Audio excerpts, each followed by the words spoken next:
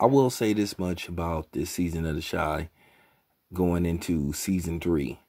Uh, I'll say this much. They had just as many episodes outside of the show as they had with the actual show.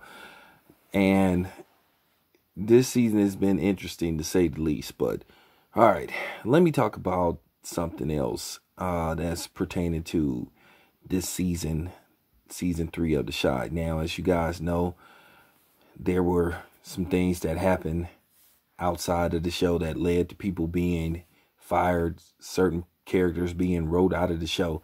So, you know, um, well, they decided to add some new characters. As they write characters out, they write characters in.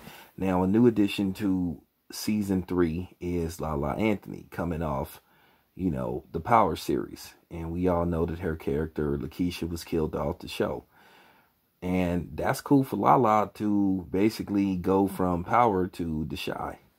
Now, she plays a, you know, she, her character is basically a cook or a chef who basically doesn't have a business license to, you know, start her own business.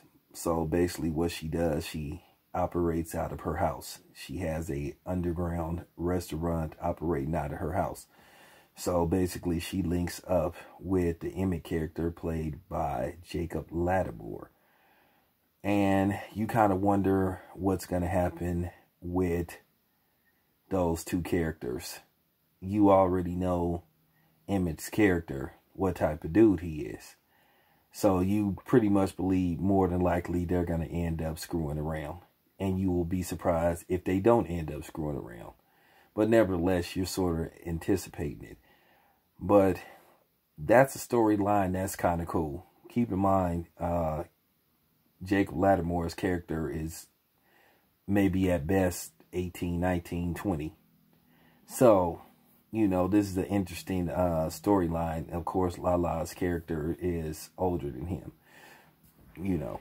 But nevertheless, um, since Lala has came to the show, she's been getting it from fans basically about her character and her acting skills and stuff. Because, you know, keep in mind, a lot of people didn't like her acting skills on Power and I think she had a short stint on 91210, the reboot, if I'm not mistaken. But nevertheless, that show I heard got canceled. Didn't have no interest in watching that show. But nevertheless, people are complaining about her character and her acting on on season three of The Chi. And I'm going to get to that in a minute. It was funny. Lala responded saying, hey, she got a job. Now, I'll say this much about Lala Anthony's character. Well, she's a, a lot better actress than Tiffany Haddish. Compared to Tiffany Haddish, Lala Anthony looks like Meryl Streep. For real. Or, or, you know what I'm saying, for real. Or Sally Field. That compared to, because Tiffany Haddish cannot act worth shit you know, as far as Lala Anthony go, as far as her range go, well, this, hey, this is her range. You know what I'm saying? I don't think she's going to be, you know, doing Hamlet anytime soon or, you know, for real. Sometimes you got to stick with your limitations, what you best at doing. I think, you know, she's, you know, she's getting into the acting thing. You know, she started off as a TV, TV personality you know, and then, you know, the acting thing came later. So at the end of the day, she's basically doing roles that she's comfortable doing, you know. So I don't have a problem with her acting. I mean, she her acting fits into the type of character she plays. Like I said before, it get at times it get unbearable to watch Tiffany Haddish act.